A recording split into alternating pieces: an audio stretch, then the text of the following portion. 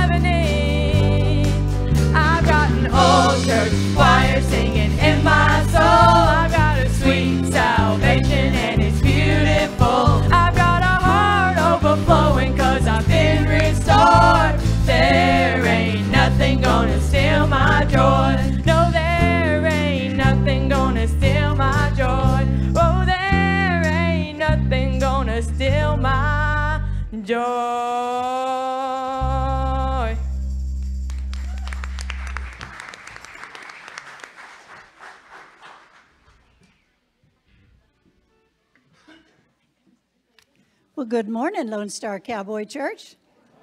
How nice to see you all today on this kind of dreary Sunday morning. But aren't you thankful that we get to worship at our own church and we get to worship how we please? If you're watching us on the internet this morning, good morning to you too. And we certainly hope that you receive a blessing from our music and from our sermon and from all the things we do on Sunday morning.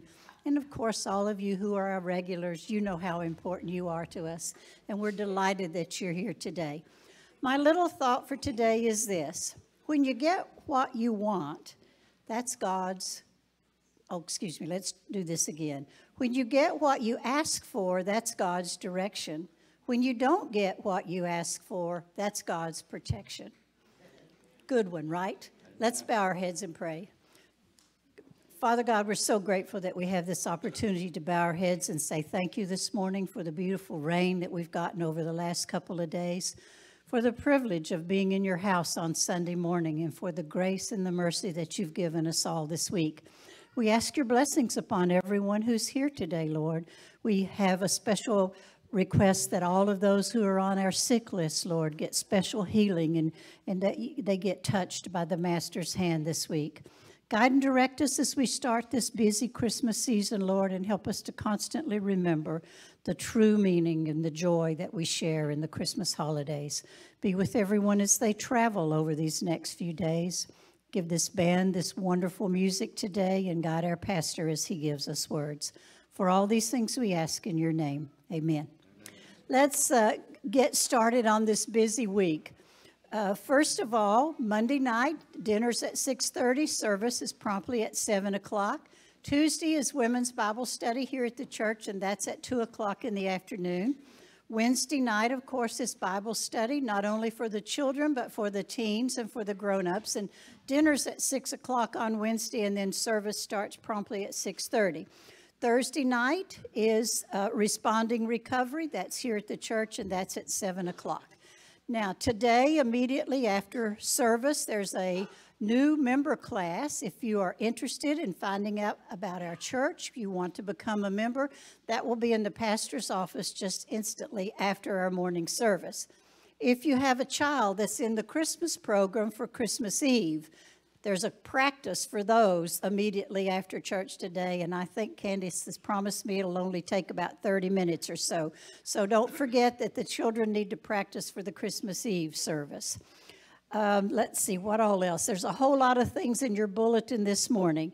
Don't forget that the men's prayer breakfast is next Saturday morning. I understand Charles is the chef this week. Come and be a part of that. That's at 8 o'clock here at the church. Now, the youth group is going to Six Flags next Saturday, and they are going to be leaving here by 9:15. So if you have a kid that's going to the Six Flags Christmas in the Park, then they need to be here no later than 9:15 next Sunday morning. The 22nd, or sorry, Saturday morning. The 22nd is going to be Eaton Meeting. The church is going to provide the turkey and the ham for the Eaton Meeting, so we need to get together and do sides and desserts and bread. So put that on your calendar. That's not next Sunday, but it's the Sunday after. Now, in the bulletin are all of the activities for the holiday weeks. We'll have Eaton Meeting on Sunday. There will be no Monday night service on the 23rd. Then the Christmas Eve service is here at the church at 6 o'clock. So put that on your calendar. But then there will be no services the remainder of the week, just back the following Sunday.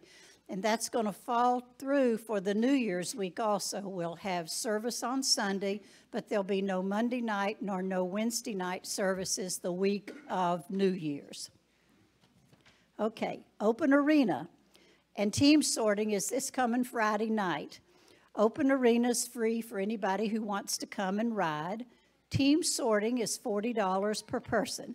Starts at 7 o'clock, runs through 9:30. There will be no mounted shooting in the month of December, so if you had that on your schedule, we will not be doing that. And I think that's everything I need to tell you.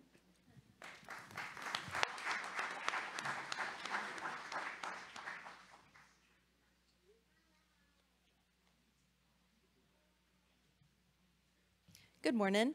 Um, so Christmas Eve service, we're going to want to do a cookie exchange. Um, so, you know, you bring your normal snacks for Christmas Eve service, but if you're wanting to do the cookie exchange with us, you can bring a dozen cookies. We'll have a little area. Um, and then you can leave with a dozen other cookies or a mixture of, you know, other people's cookies. It's just kind of fun.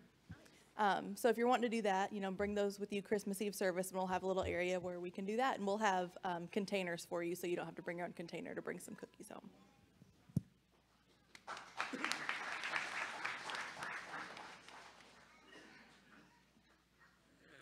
Good morning. I just uh, I want to take a quick second and I want to thank the people of this church. Being a youth leader, it, it is amazing of the uh, prayers and help that the youth group gets. So I just want to thank y'all so much. Y'all are always a blessing, and I got a few more things about Six Flags, but Miss Audrey's voice is a little easier on the ear, so I'm gonna let her do that. Okay, we're asking that everybody be here at 9:15, ready to go by 9:45. If you're at 9:46, you're not getting on the bus. Okay, I'm not. I'm not playing. 9:45, we're leaving. Um, eat a good breakfast. We're not feeding you breakfast. Lunch will be provided at 3 p.m. Um, thank you. Round of applause for Miss Wanda for, for providing our lunch. The entire group will come out to fellowship and devotion whether you're hungry or not. Jesus, Jesus doesn't care if you're hungry or not. Come on. And be there on time because I'm ready to get back to those rides too. We will leave Six Flags no later than 8. Your teens will call you or text you 30 minutes before we get to the church. Any extra meals or snacks will be the teens' responsibility. Parents send like 80 bucks. Lone Star Cowboy Church is not responsible for anything you lose. So if you misplace your phone, your purse, your wallet, anything, it's on you. And the devotion that day will be done by Miss Audrey. She don't know it, but she knows it now.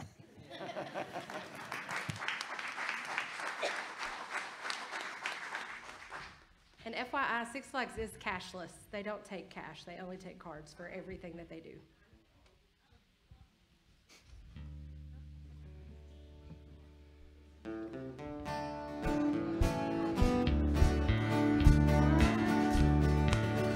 Have you been to Jesus for the cleansing power? Are you washed in the blood of the Lamb? Are you fully trusting in His grace this hour? Are you washed in the blood of the Lamb? Are you washed Are you washed in the blood? in the blood? In the soul cleansing blood of the Lamb. Are your garments spotless? Are they white as snow? Are you washed in the blood of the Lamb? Are you walking daily by the Savior's side? Are you washed in the blood of the Lamb? Do you rest each moment in the crucified? Washed in the blood of the Lamb? Are you washed Are you in washed the blood? in the blood? In the soul cleansing blood of the Lamb. Are your garments spotless? Are they white as snow? Are you washed in the blood of the Lamb?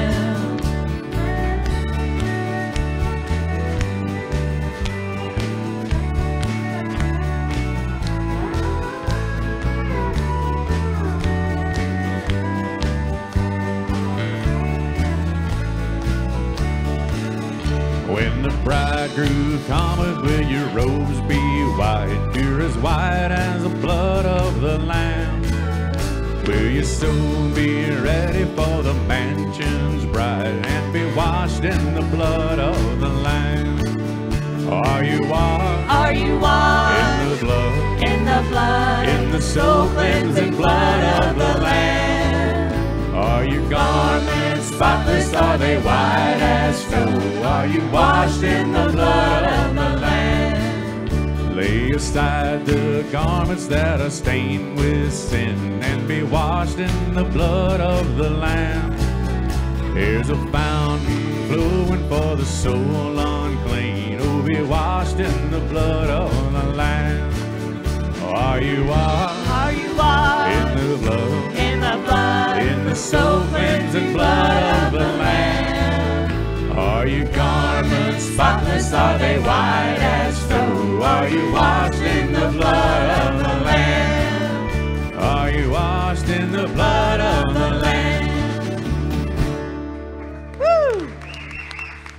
Folks, we got a newbie up here, and we'd like to introduce him. His name is Mr. George Plemons. Y'all give him a round of applause. I think he sounds pretty awesome. And we'd love to have you here, so thank you for being here.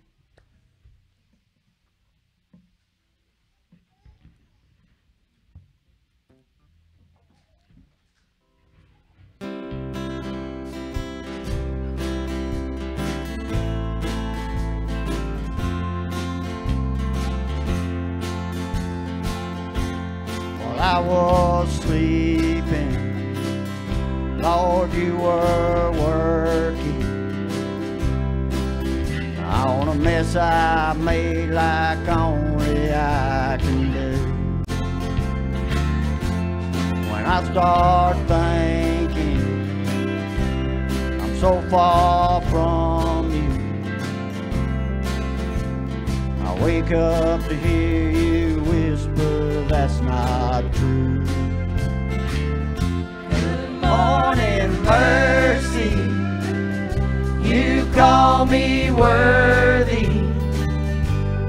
Feel like the sun shining on my face. Living's good this side of grace. I feel it working. Goodbye to the hurting. Woke me up, put me on my way. Hallelujah, it's a brand new day. Good morning, mercy. Yeah, I'm still learning to trust and follow. I won't worry what tomorrow's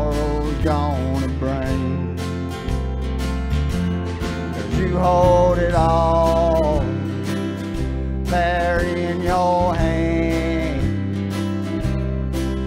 And now I'm lifting mine up cause it makes me wanna sing. Good morning, mercy. You call me worthy. Feels like the sun shining on my face. Living's good this side of grace. I feel it working. Goodbye to the hurting. You woke me up, put me on my way.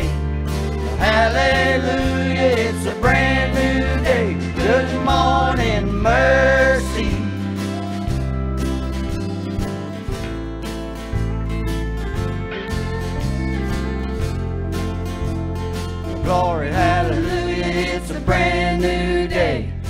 Starts all over when the daylight breaks. Giving me a song that makes me sing good morning, good morning. Glory, hallelujah, it's a brand new day. Starts all over when the daylight breaks. Giving me a song that makes me sing good morning. Good morning, mercy. Call me worthy. Feels like the sun shining on my face. Living's good this side of grace. I feel it working. Goodbye to the hurting. You woke me up, put me on my way. Hallelujah,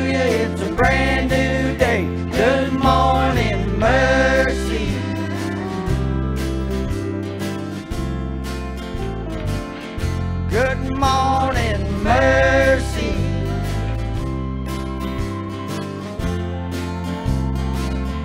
Good morning, mercy.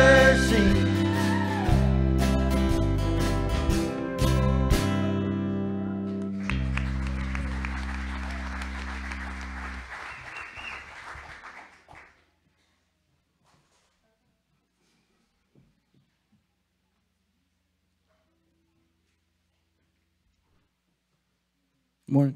Good morning. All right. Today's devotional, I wanted to cover the topic of fear. Well, let's ask ourselves a question. What what is fear?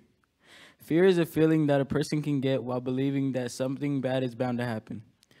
Isaiah 41, verse 8 through 10 says, Do not fear, for I am with you. Do not be dismayed, for I am your God.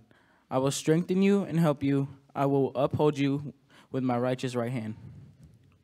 To me, God is telling us to let go of all fear and standing up to your fears, fears while not having to be scared. Here are some things that help me overcome my fears whenever I'm scared that something bad might happen. Make sure that you're always praying to God.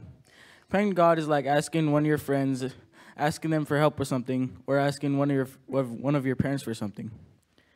And always make sure to put your faith in God and know that in the end, God is can do the impossible.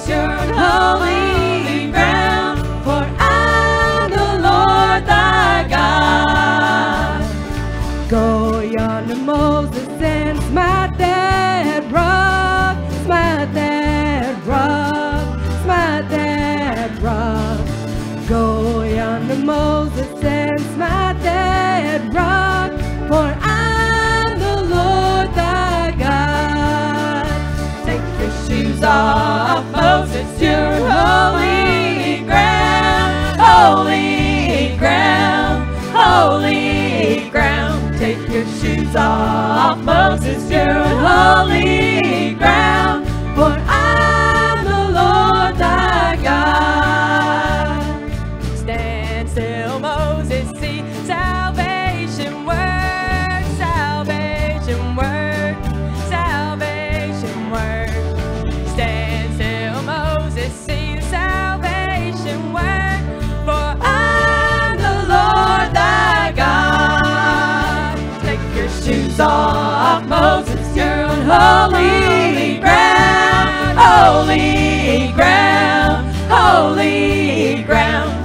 shoes off. Moses turned holy ground, for I'm the Lord thy God. Take your shoes off, Moses, your holy ground, holy ground, holy ground. Take your shoes off, Moses, your holy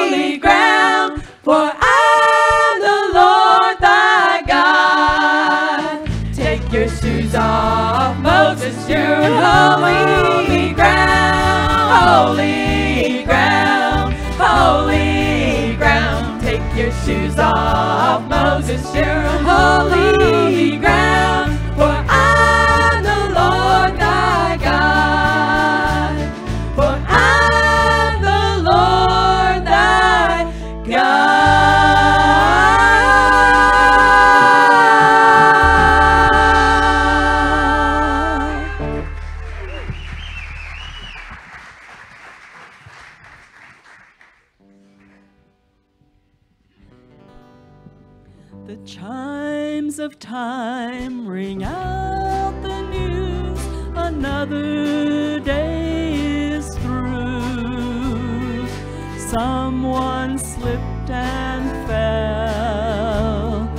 was that someone you you made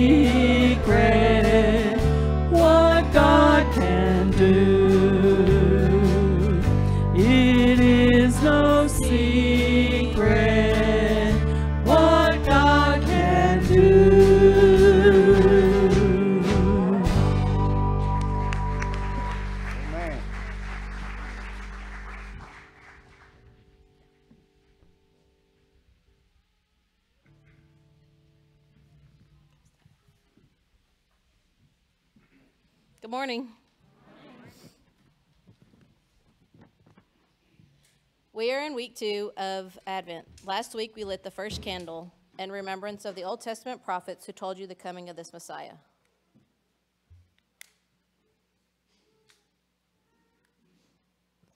The preparation candle is the second candle on the Advent wreath.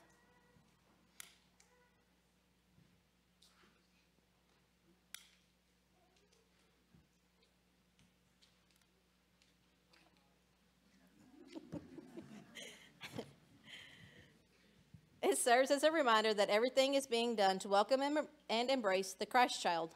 The theme for the second week of Advent reading is preparation. Isaiah 40, 3 through 5.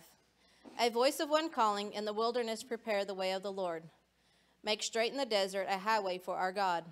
Every valley shall be raised up, every mountain and hill made low.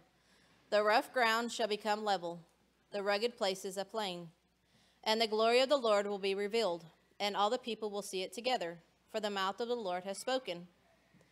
In lighting the second candle, we are also reminded that the Savior was indeed born as God had promised. Jesus is the Messiah foretold by the prophets of old. In lighting the second candle, we do so in celebration of Jesus, the Christ child born in Bethlehem. Please follow along as I read Luke 2 3 through 7. And everyone was on his way to register for the census, each to his own city. Jesus also went up from Galilee, from the city of David, which is called Bethlehem, because he was of the house and family of David, in order to register along with Mary, who was engaged to him and was with child. While they were there, the days were complete for her to give birth, and she gave birth to her firstborn son. She wrapped him in cloths and laid him in a manger, because there was no room for them in the inn. May the Lord's peace be with us all.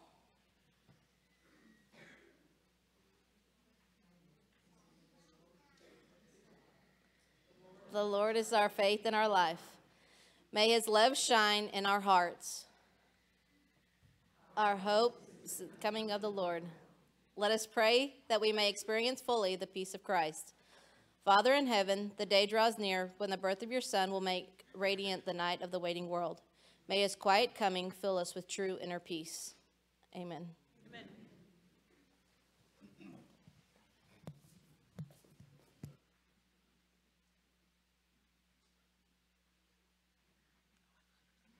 Amen. We're doing things a little bit different today. Um, Ainsley asked me a few weeks ago if, if I would baptize her. She's a little bit younger than we normally would, but by golly, she's been a part of our church since she was just brand new, wasn't she? And I know for a fact that this young lady loves Jesus with all your heart, don't you? Come here, baby. You're too cute to be there by yourself. She loves Jesus with all of her heart. And, and you realize baptism, uh, what you're doing is you're being a testimony. You're showing all of us that you love Jesus with all your heart. And do you love Jesus? You know he loves you?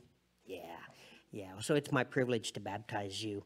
Let's ask the elders if you guys would come forward at this time. She wanted to be baptized. She said, but she wanted to make sure she got to go to Sunday school. So we're going to do it a little early so she can get there. Okay, let's go up. Let's be baptized.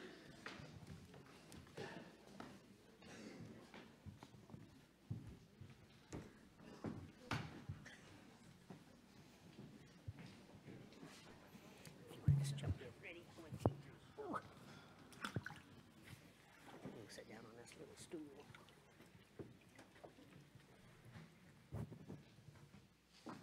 Ainsley, I baptize you in the name of the Father, the one who created a plan for your salvation so long ago, one who looks down upon you and says, That's my girl, I love her.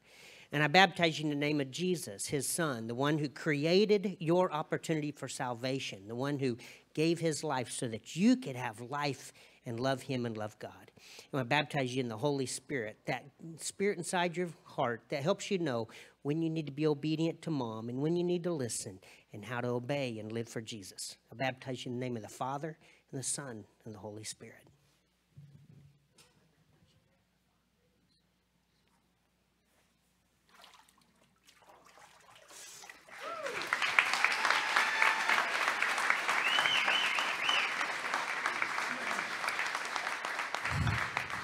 Amen.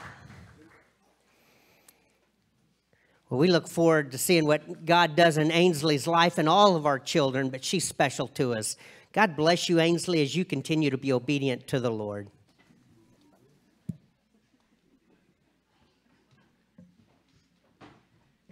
Oh, what a joy. That is amazing.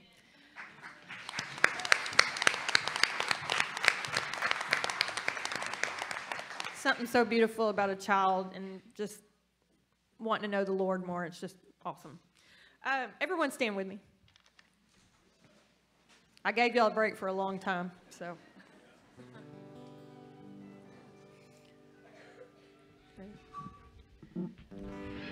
Joy to the world, the Lord is come. Let earth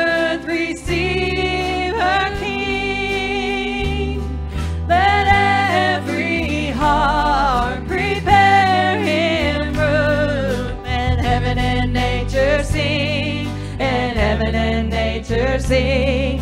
And heaven and heaven and nature sing. Joy to the earth, the Savior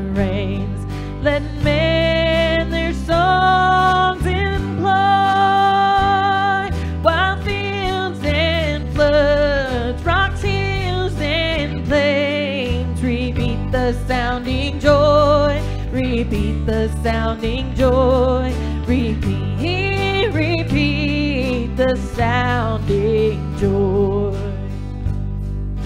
He rules the world with truth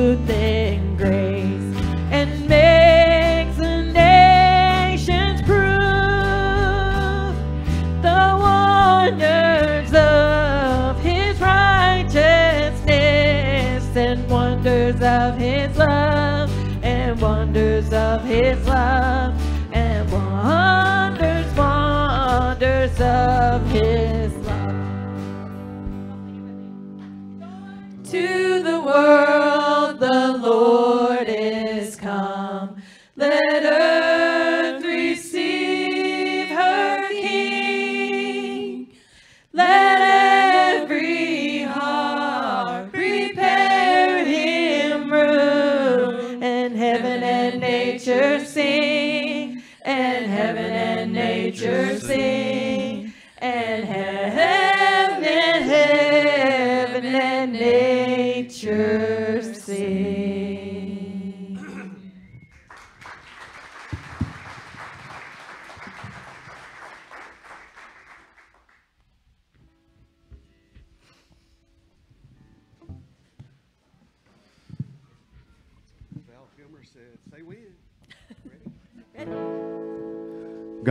sent his son.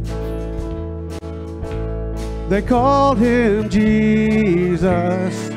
He came to love, heal, and forgive. He lived and died to buy my pardon. And an empty grave is there to prove our Savior lives. Because He lives, I can face tomorrow. Because He lives, all fear is gone. Because I know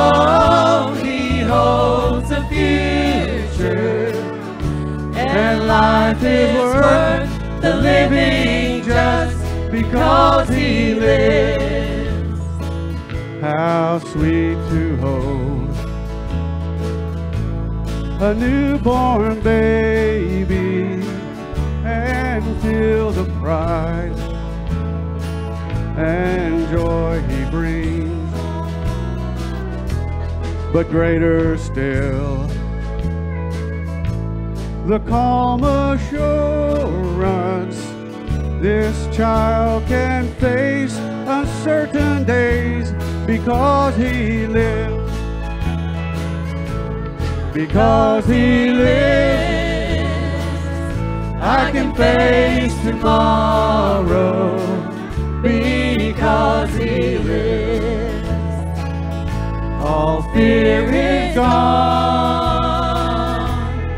because I know he holds the future And life is worth the living just because he lives. And then one day I'll cross that river. I'll fight life's final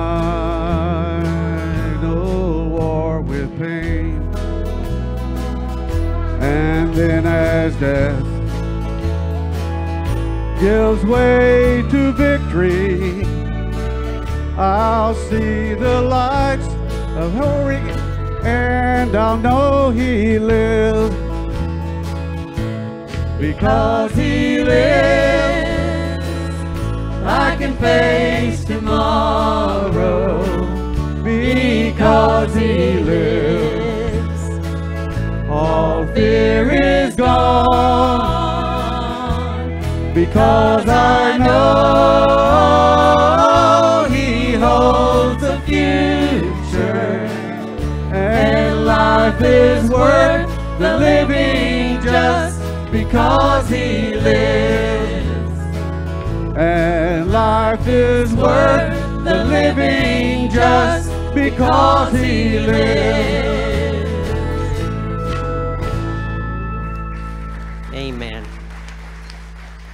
That's why we're here today. It's because He lives. We can celebrate that fact with me. Join with me. Let's just go to the Lord in prayer one more time. Please stand.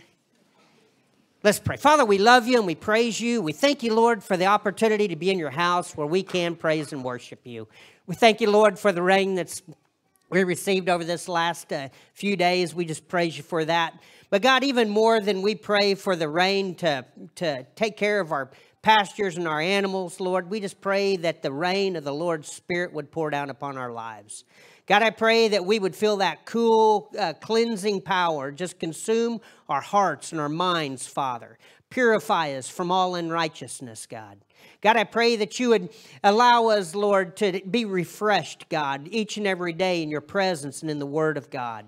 Lord, I pray that you would allow us to be encouraged and inspired by the message that we read each and every day as we pick up our Bibles and see what you have for us. God, I want to thank you, Lord, for the transforming work that prayer does in our lives, God, and how we can come before you as Mateo reminded us, God. We can come before you in prayer, and Lord, you'll minister to our hearts and take fear or anxiety or confusion away from our minds, but give us hope and peace and wisdom. God, we praise you for that. Lord, you're a good God, and it's our privilege, God, to worship you. Lord, so often the things of the world become very distracting to us. We get caught up in the things of the day. We find ourselves chasing after the wind, as Psalm or as, as Proverbs talks about. But Lord, I pray that we would be a people who chase after the Holy Spirit. God, I pray that you would continue to reveal yourself to us more and more each and every day. And that our spirit, Lord, would grow in faith and in truth and in knowledge, God, of the God who loves us and the life that you have before us. God, I want to thank you for uh, this church and all those who work so hard to make the ministries of this church go on and be successful, Lord. And I pray that you would bless our people. Lord, bless them for the efforts and the time and the energies that they give to serve you in their own unique ministries. Lord, we ask that you'd be with the prayer requests that we have as a church. As Wanda reminded us, our prayer, uh, the list is extensive, God. There's needs that we have as a, as a church and as a community. And Lord, I just pray that you would look down upon our people with favor and that they would understand healing power. Father, as Mr. Plemons and I was talking this morning, and he was sharing about an encounter he had with, uh, with a homeless individual this, even this morning.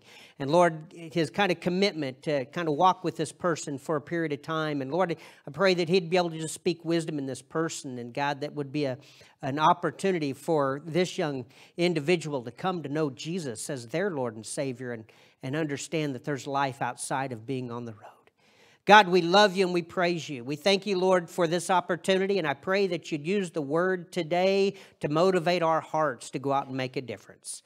God, it's in your name we ask these things. Amen. Amen.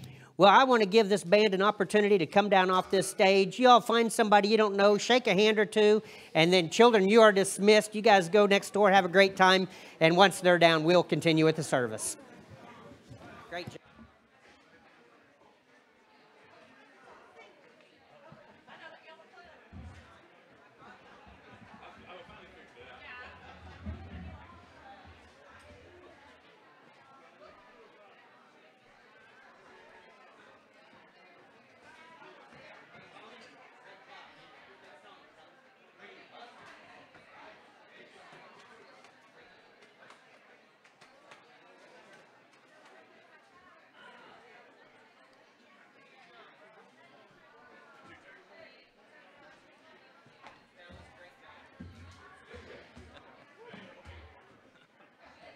Yes, sir.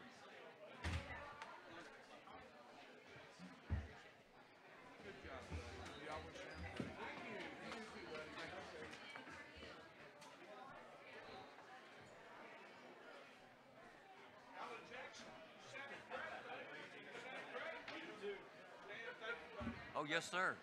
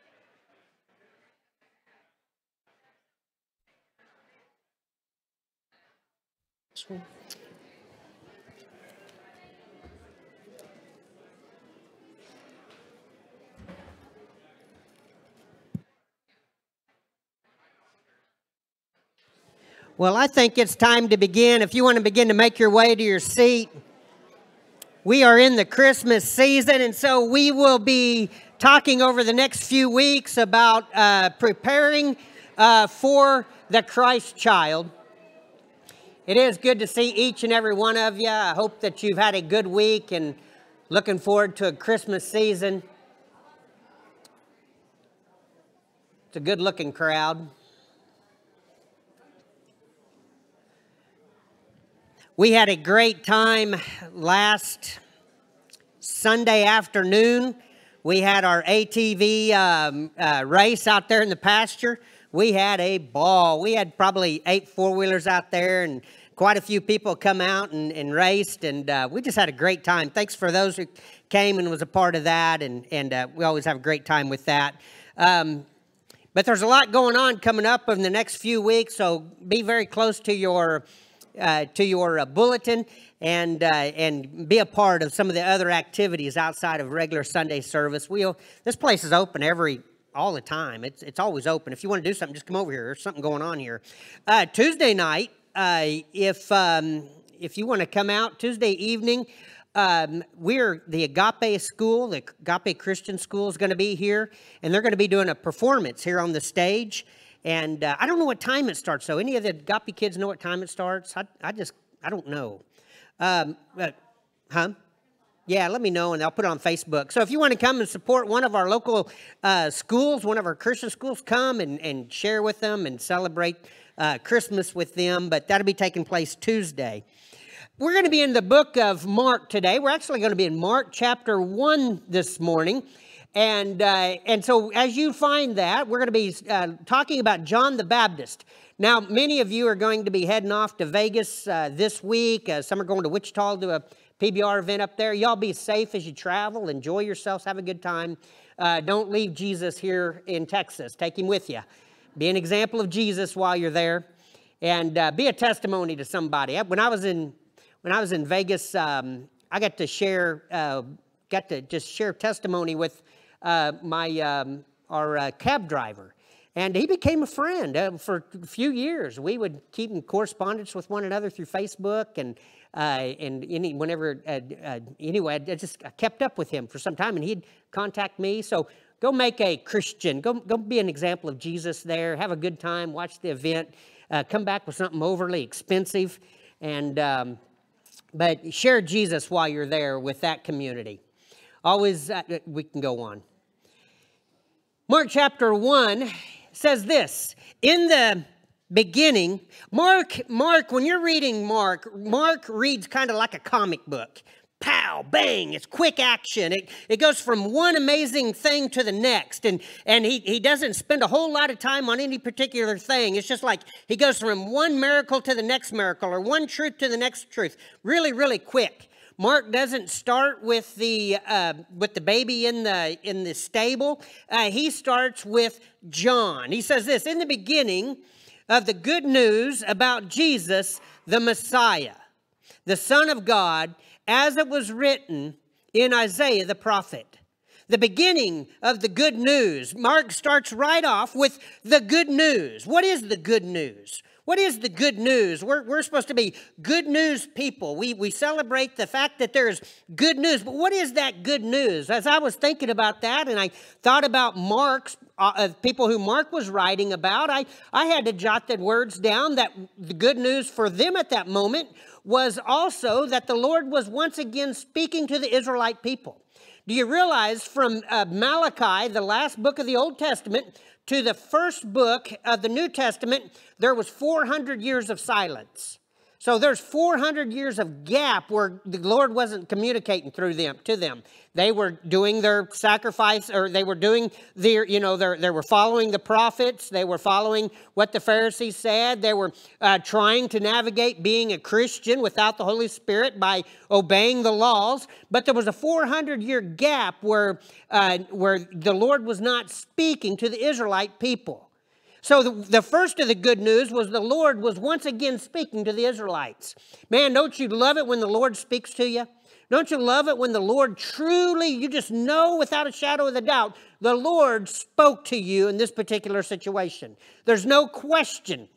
There's no question that the Lord reached out and spoke to you. I remember uh, one particular time in my life, and many of you've heard it, but we've been together for 14 years, man. I can only come up with so many stories.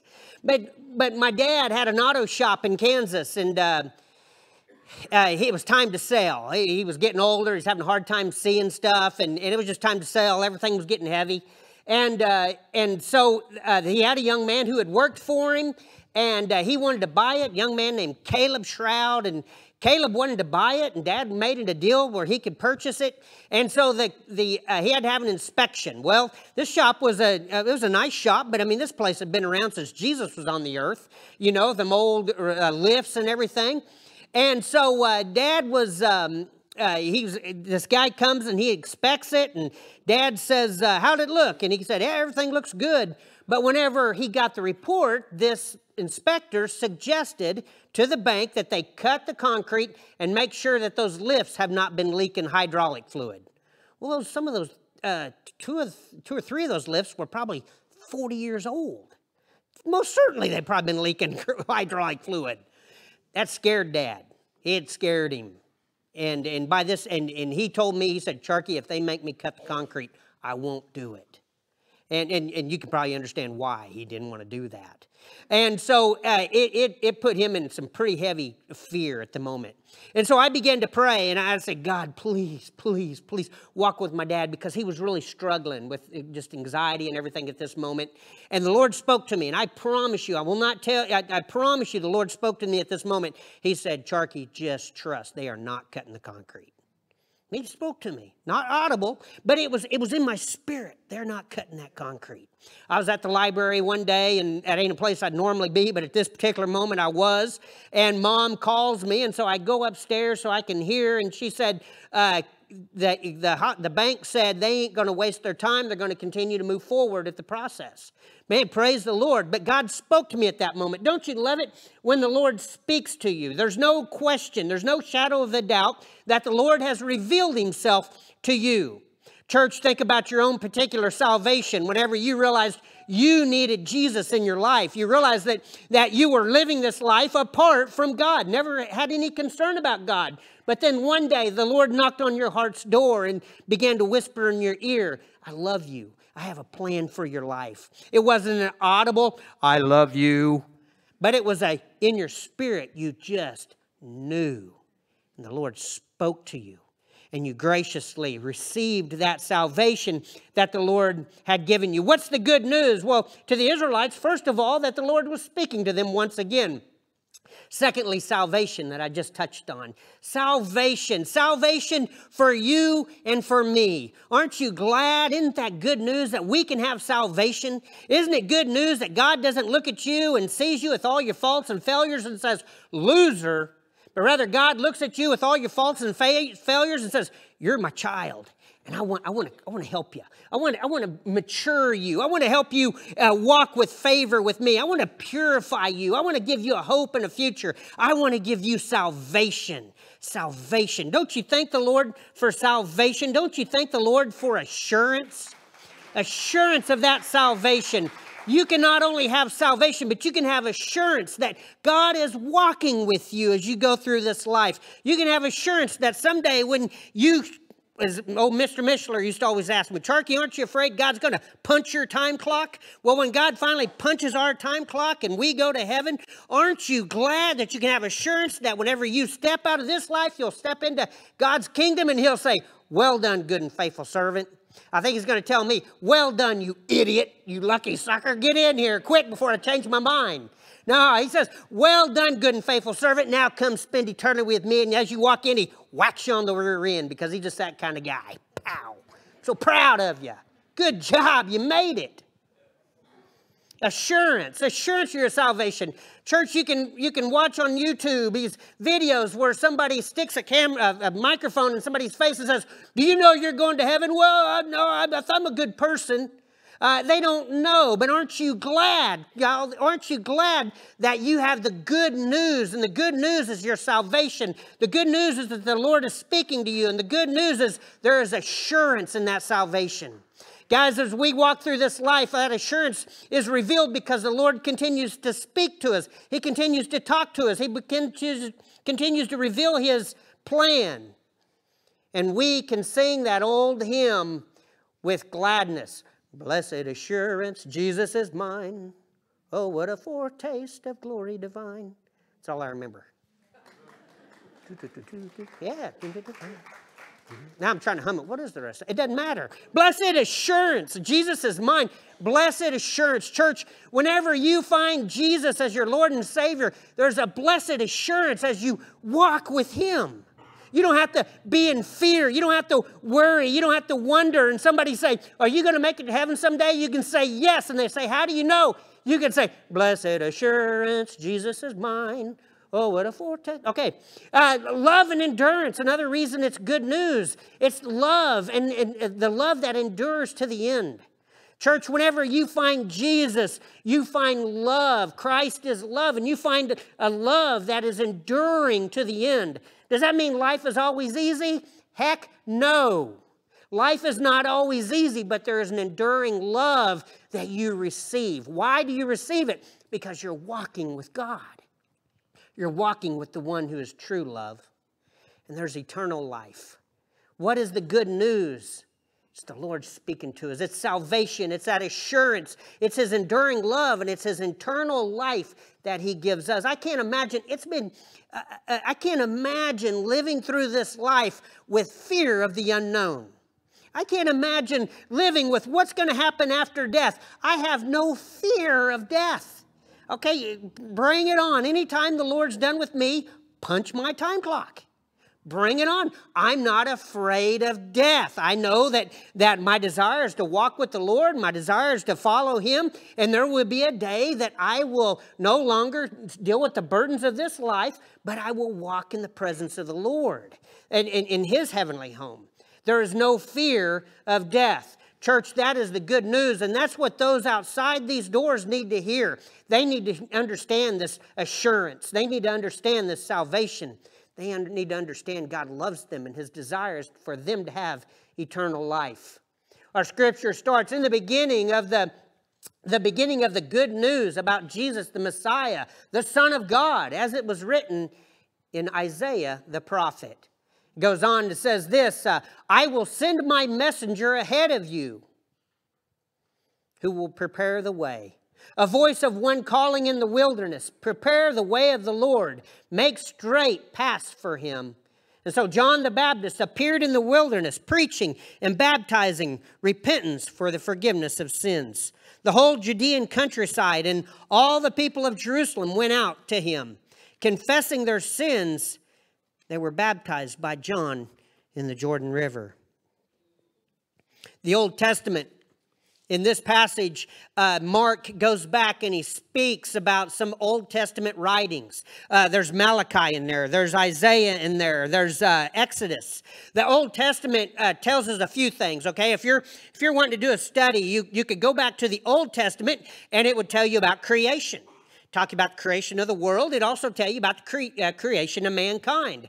It'll tell you about the early man. What was early man actually like? It'll tell you about the creation of, of Israel, the nation of Israel, and how God and the history of Israel. Uh, it'll tell you about that, but it'll also tell you about this coming. Uh, it'll tell you. Uh, uh, it'll tell you tell you end times prophecy, like in Daniel but it also tells you about an individual, a Messiah. Okay, when you're in the Old Testament, you will see uh, uh, upwards uh, uh, at least a few hundred scripture that point to a Messiah, a one who is going to come. Okay, there's a there's over a hundred, like some say 191, others say upwards of three or four hundred. So let's just say there's a few hundred scripture that points to a Messiah that's going to come at some point. Church, that's what we're seeing here is the beginning of this Messiah. That's why he brings up those passages in Exodus and Malachi and Isaiah. These were Old Testament scriptures fulfilling that there was one who was going to come before Jesus. It wasn't uncommon for uh, people of that day. In fact, to this day, if the president is going to go to a city, there's somebody who goes there before him to what? Prepare the way uh, kings at that time. They didn't just show up in a city and uh, surprise everybody. There was somebody who was there that would go a week ahead of time, or however, what the case may be, and prepare so that whenever the king comes, uh, it was ready for the king to come. And so this scriptures talk about this one who would come uh, to prepare the way before the Messiah. They knew that when this one came to prepare the way, the Messiah was coming. As I was said, as I said, there was 400 years of silence. God hadn't spoken to the Jewish people for 400 years through the prophets. But then this man comes walking out of the desert, this wild man who wore camel's hair and ate locusts. He preached a message of repent and turn from your sins.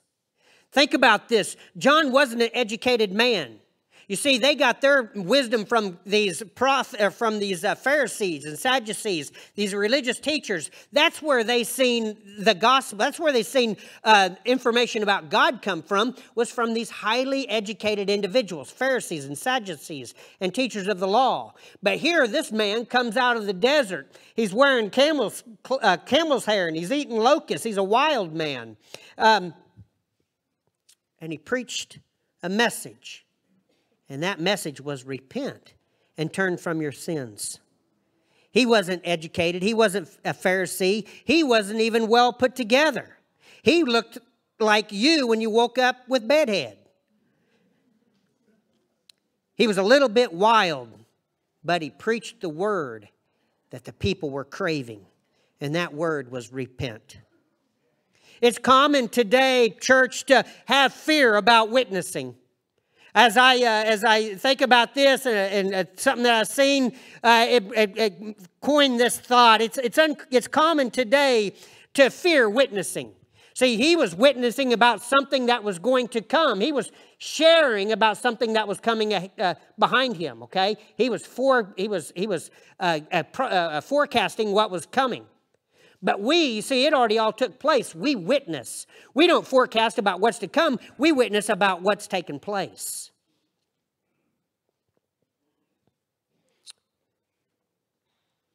But it's difficult. So many of us struggle, so many struggle with witnessing, sharing their faith. They say, and they think things like, I'm not smart enough to share my faith. I'm not smart enough. God couldn't use me. I don't know the scriptures well enough. Remember, this is a wild eyed man with crazy hair that's eating locusts, but he went out and made a difference in the world. But we think to ourselves, there's no way God could use me. I'm not smart enough. I don't know the scriptures. But y'all always remember this and don't forget it. Burn this in your brain. God has called you to witness. He did not call you to be a lawyer. God called you to witness.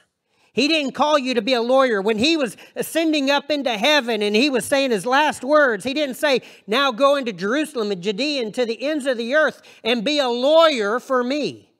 No, he said, Go out through Jerusalem, Judea, and Samaria and share the gospel about me, a witness. A witness is somebody who tells what they have seen and what they have heard. A witness is someone who tells what they have seen and what they've heard. People will say, I can't witness. Someone may ask them, may ask me a question that I can't answer. I can't witness. I'm afraid they may ask me a question I can't answer. But do you want to know the answer to that question? Anytime you're sharing your faith, God leads it on your heart to share your faith with an individual rather than becoming hyper fearful that you're going to ask you a question you can't answer. Just simply begin to communicate with them. And when they ask you that question you, you can't answer, you know that there is a one answer that, that takes care of all the, the issues? One answer that you can always give? What would that answer be? They ask you the question you can't answer. The answer is, I don't know. I don't know. That's a legitimate answer. I don't know the answer, but I'll tell you what I've seen. A lawyer argues a case, a witness tells what they've seen and heard. You don't have to be a Bible scholar to witness, you just tell them what Jesus has done in your life. There's nothing worse than somebody who's fake. They don't want you to try to prove to them that you're a Bible scholar. They just want to know what has Jesus done in your life? And if he did that in your life, could he do it in me? Just tell them what you've heard. Tell them what you've t- seen. Tell them your experience. Don't think to be an effective witness, you have to argue any case. You just simply express what you've experienced. The people will, were drawn to this individual. They were drawn to, uh, to John. Uh, the, the Lord had, uh, they were drawn to him. They, they came out to see him. Even though he was unkept in a little while, they, they were coming out through, uh, from, from the areas to come hear him speak. And as I was thinking about that, I began to ask myself, why were they coming out to hear him? What, why were they so eh, eh, in tune and, and wanting to hear this message? And as I thought about that, it, it come to me that the Lord had begun to prepare their hearts. They, the Lord had already started the work by preparing their hearts for the message that he was giving, and that message was repentance. The Lord was already on the move. Church, the blessings of the Lord as whenever you whenever uh, uh, what, what's god let me let me just let me say it this way. What's god doing in your life at this moment? What's god doing in your life at this moment? How has he been preparing you? You see john comes out of the wilderness and the people are drawn to him because the lord's already moving in his, their spirits. But church there's a reason you're here today there's a reason you came into this church while there's a little bit of rain on your windshields. There's a reason you came in, maybe for the first time in your life. Maybe it's been a while. Whatever the case may be, you came here today for a specific moment. Why is that? Is it just because out of pure luck? Was it out of pure chance? Or is it because God's doing a work in your life? He's preparing you, and He's brought you here at this moment for a specific purpose. What is He put in your life to turn you into a direction that He wants you to go. There, and, and when you're when you're riding a horse, you you're riding that horse. If you want him to to go uh, to go uh, left, you you bump his nose to the left. You turn his nose the direction you want him to go, and he goes the direction you want him to go. Understand, the Lord is up there in heaven, bumping you. He has a plan for you, bumping your nose the direction that He'd want you to go. Maybe that's why you're here today because you needed to hear a song that was sang that maybe encouraged your spirit. Maybe you're here today because you need to hear the word that spoke today. Maybe you're here today because it's starting a trajectory in your life of being a person who is a dynamic, sold out follower of Jesus Christ. But it has to start somewhere. Are you here just by chance and by, by happenstance? Or are you here because God is preparing your way, just as John came out and began to prepare the way for these people? Did he motivate you today? Is he preparing you for something special? What's he preparing you for? What's today's message? Eh, this message is all of you are going to get something different out of this message. What is it that God wants you to get out of this message? What is it? What, is, what do you need to hear in this message today to prepare you for this next week? I find it interesting. People will tell me, man, that, that really spoke to me. And they'll tell me what it was that spoke to them. And I'm thinking, I never said that. I didn't say that. But it wasn't, it wasn't what I was saying, it was what God was speaking to them. They used something in the message to, to point their nose and begin to communicate with them. John comes out of the desert speaking, repent. Let's go to verse 6. John wore clothes made of camel's hair with a leather belt around his waist, and he ate locusts and wild honey. In the scripture, God is frequently, this comes from a, a gentleman named Oswald Sanders. I thought this was good. Listen to what he said one time. In the scriptures, God is frequently represented as searching for a man of a certain type. Not men, but a man. Not a group, but an individual. When God does discover a man who confirms to him his spiritual requirements, who is willing to pay the full price of discipleship, he uses him to no limit, despite the man's patient shortcomings. This guy was a little wild. He was a little unwoolly. He was a little unkept. His outward appearance was disheveled, but his heart was committed. And because of his committed heart, God was able to use him to prepare the way of the Lord. Church, the Messiah has already come. Jesus has already come. God don't need you to prepare the way of the Lord for a, for a, uh, uh, for a nation. But He needs you to prepare the way of the Lord for your children. He needs you to prepare the way of the Lord for your grandchildren. He needs you to prepare the way of the Lord for those little kids that's next door. He needs you to prepare the way of the Lord. You say you may say I don't fit the bill. Well, neither did John. He was unkept and unwoolly, but he was had a willing heart. And, church, there's times in our lives where we have got to simply come before the Lord with true repentance and a true passion for the Lord and say, God, I don't know what you, how you could use me, but God, I'm here. God, change the trajectory of my life.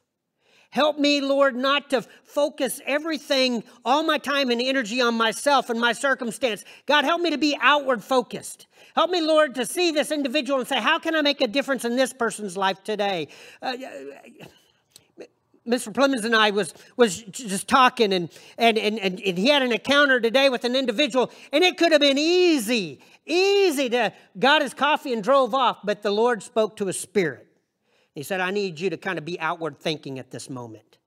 And there's no way, there's no telling what that trajectory is going to create now because somebody just stopped and took the time to love an individual who probably hasn't felt loved in some time.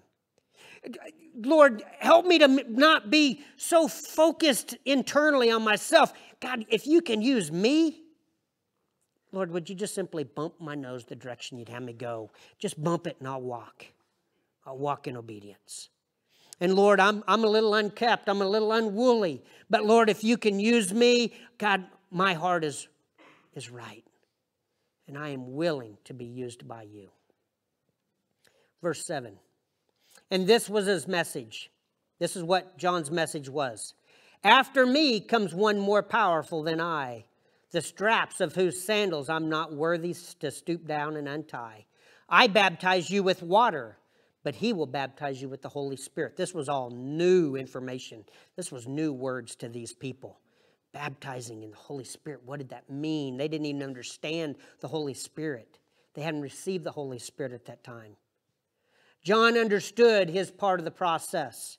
He knew that it was he that he was the herald, but the one who was to come was the true hero. He was not the Messiah. He was the one who was here to proclaim the Messiah. Church, we are not the Messiahs. We are the ones here to proclaim the Messiah. Because of John's message, people's hearts and minds were prepared for Jesus, the one who was just over the hill, but the one who was coming soon. Church, he wasn't there yet. Jesus wasn't there yet, but he was coming. He was just on the other side of the hill at the moment. He was he wasn't there yet, but John was saying that he's coming. Prepare your hearts. Church, we celebrate the life of Jesus. We read about his life and his teachings in the Word of God. We celebrate the first coming of Jesus, but we look forward to the second coming. Church, he hasn't came yet. He hasn't come back for that for his church yet. He's he's still coming. It's just over the hill. It's just down the road. We don't know what it is, but but we're going to forecast. The Lord is coming. Prepare your hearts, prepare your minds. Walk in the presence of the Lord and allow his love to transform your heart. Allow the Lord to transform your life. He's coming, though. It's just over the hill. The signs are evident that the Lord's message is true. The Lord is, is, is soon to return, and I don't know if that's tomorrow or if that's in a thousand years. It could be okay here pretty quick because I don't know what I'm having for dinner. Let's go ahead and go on up. We don't know if it's today or if it's tomorrow or it's a thousand years. I don't know, but we can forecast the Lord is coming again to take his church. John was saying he's not here yet, but I'm baptizing you in something that I am foreseeing. In church, we can with confidence say, you know what? The Lord has not returned yet, but He has come once. And He has prepared my heart and He's transformed my life. And I know that fully well. I know I'm not the person I used to be. And I know I wouldn't go back to save my life. I'm going to follow Jesus.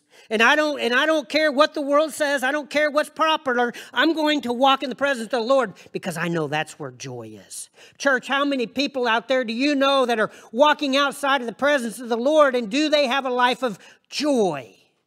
Is peace a part of their life? The answer is no, because they're wandering in dark places. They're trying to find joy and peace in the things of the world. And although these things sometimes bring short term joy and excitement, they don't bring long term love. Church, we point people not to a quick moment of excitement, not into an emotional experience. We point people into a lifetime, a lifetime of change and transformation, a lifetime of getting to know Jesus as our Lord and Savior.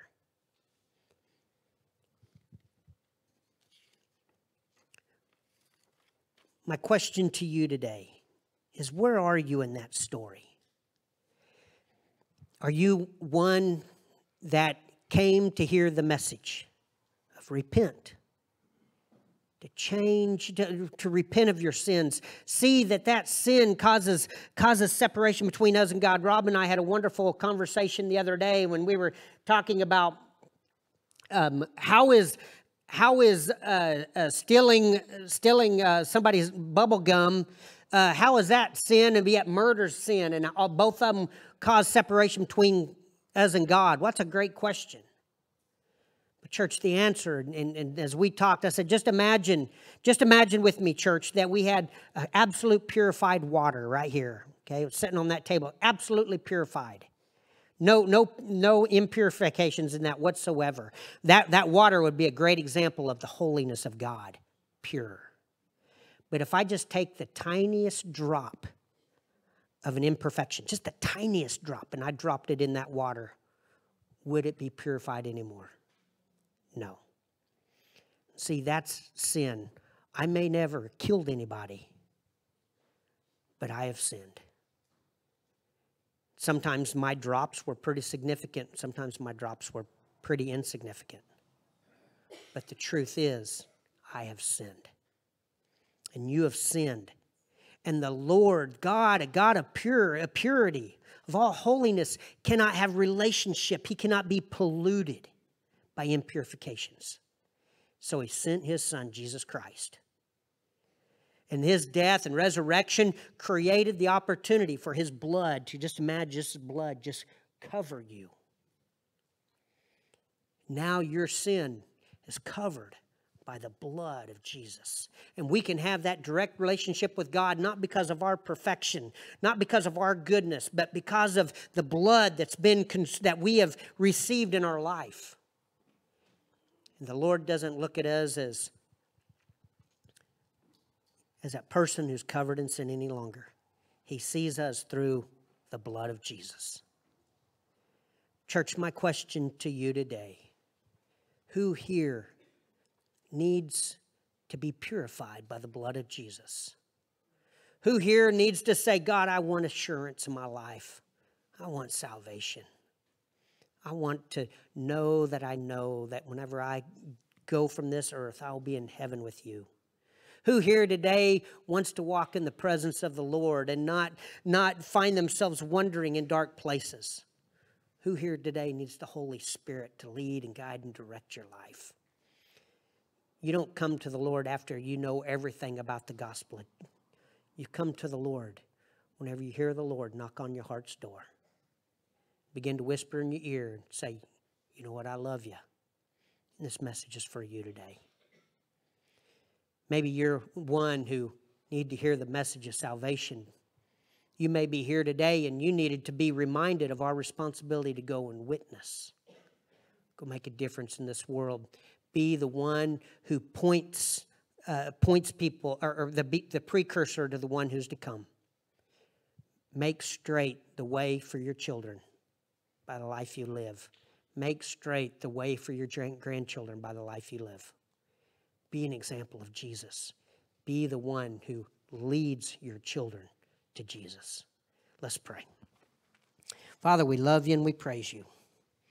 We thank you, Lord, for your love. We thank you, God, that you look at us with favor and love and you have a plan and a purpose for our lives. And God, we praise you for that. And Lord, if there's one here today who would be honest and say, you know what, I, have never even really considered God before, but, but I hear the message. And, and if, Father, if there's one here that you're just knocking on their heart's door, you're speaking to them. Lord, you're, you're you're communicating with them. There's, there's no question, God, that, that they feel you just pounding on their heart at this moment, saying, I want relationship with you. I, I want to forgive you of, of your sin.